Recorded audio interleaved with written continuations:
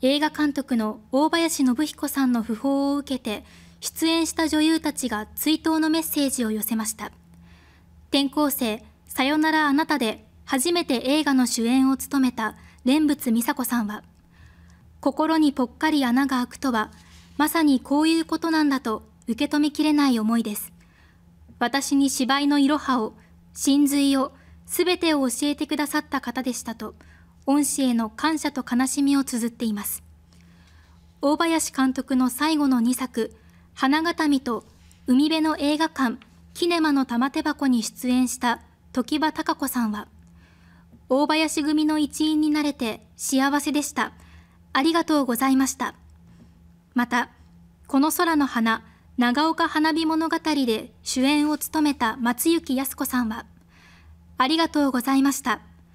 優しい監督の笑顔忘れられません。そして寂しん坊で主演を務めた富田靖子さんは監督に会いたいです。もう握手をすることも気持ちをお伝えすることもできません。大好きです。